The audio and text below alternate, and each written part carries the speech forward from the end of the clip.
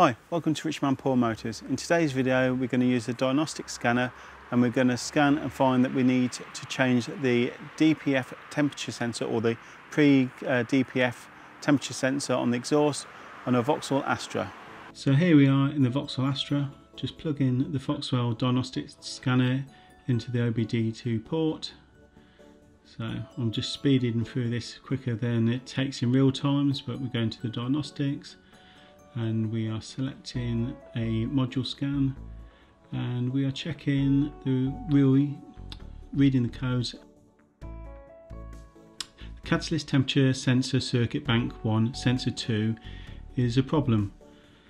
So under the middle of the car there you've got the DPF and uh, I've actually removed the sensor already.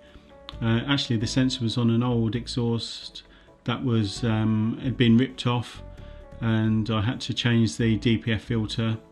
So I was just showing you the fault beforehand and I've already ordered a new sensor which is here. Some copper grease or copper ease uh, to go on later. So I'm just placing the sensor into the exhaust just to protect that end of the sensor. We don't want to damage it by rolling around on the uh, tarmac of the driveway So just following the uh, old sensor wire to the front of the car. Again, this is only in finger tight because uh, we're going to remove it later when we install it properly. So following the cable, it goes over that mount and up into the engine bay this way. So just pulling the clips off, so squeeze the tabs together and once you squeeze the tabs you can just pull them out through the holes. So just doing the last one on the that runs along the chassis.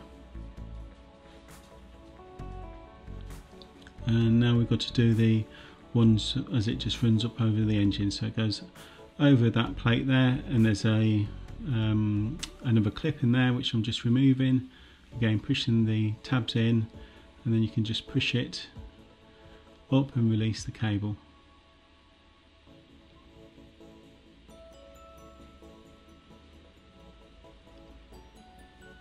So there's another sensor just just there and out of the shot of the camera there's a, another sensor a bit further up.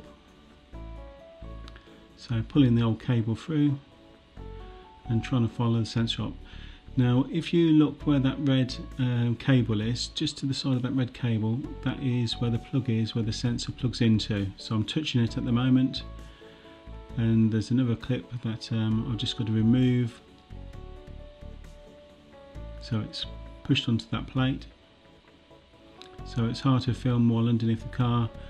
So I've removed that clip. So I'm holding on the clip there. And you can see the loose cable going to the plug at the moment. So just the other side or the flexible pipe and the exhaust. So sorry for the shaky video but um, it was quite hard videoing this on my back So the front of the car was where I was pointing and up there again next to that red uh, cable that's the sensor that you're looking for there.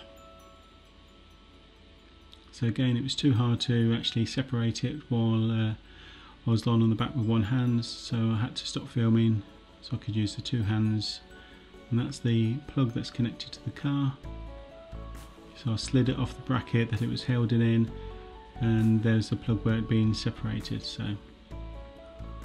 So threading the new cable through and uh, removing the old cable so I'm following the, the route that the um, previous cable went. As to not make a mistake. So pushing the new cable up I'm grabbing it with my left hand and just pulling it through again it was a bit too tight to be able to show you video in it. So I've now plugged the two cables back together and I've slided the uh, cable back through the bracket. Now the cable I bought actually had a different clip on which you can see to the right but uh, the plug was the same so it's been plugged in. And now it's time to refit the clips that uh, clip the cable all the way along um, and decided that would go in better the other way around so that's one's in. There's one on that plate and if you look along here I'm just going to put them in those holes along the chassis. So now I'll just remove the sensor out of the DPF so I can put some copper ease on it or copper grease. So this is what will uh, stop the thread sticking uh, if you ever have to remove the sensor from a later date or you've got to uh, change the exhaust and you need to remove the sensor um, you put that on and it just stops it corroding together. Now make sure you do not get any of this over the sensor itself because uh, that will affect the readings. So just on the threads this is one of the reasons why I didn't put the copper ease when in on when I installed it the first time. So so now we're installing it for for um, for the final time put a bit of copper ease in and we're screwing it up.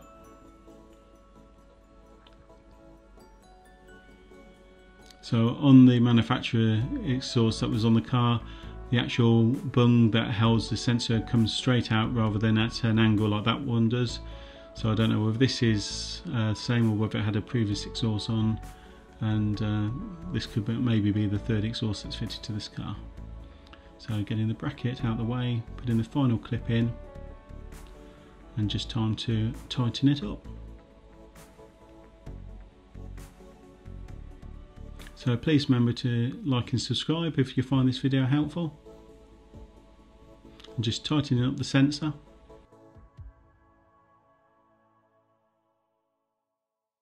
So thanks for watching. If this video has been helpful, please like and subscribe.